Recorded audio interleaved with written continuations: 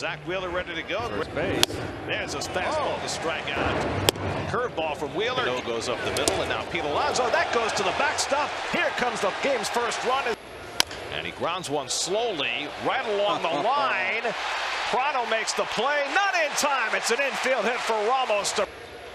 And Brandon takes high ball four, and that forces in the third run of the inning. And he smashes one out to right center field. Back in the gap goes Herrera near the wall. It's out of here! Amed Rosario with an opposite field grand slam. That's up the middle, and that's a base hit. Around third comes McNeil. Curveball by Wheeler to strike out Walker. And he struck him out with the fastball. Conforto blasts one out to right field. Anderson takes a look, and that ball is out of here. Into the Coca-Cola corner. Lopez swings through it. A fastball that he missed for strike three. Swing and a tip into the glove of Ramos. Strike three. Base both times. And he drives this one out to right field. That's deep. Headed toward the wall. It's out of here. And the curveball gets Rojas looking. All-star. And he goes down swinging.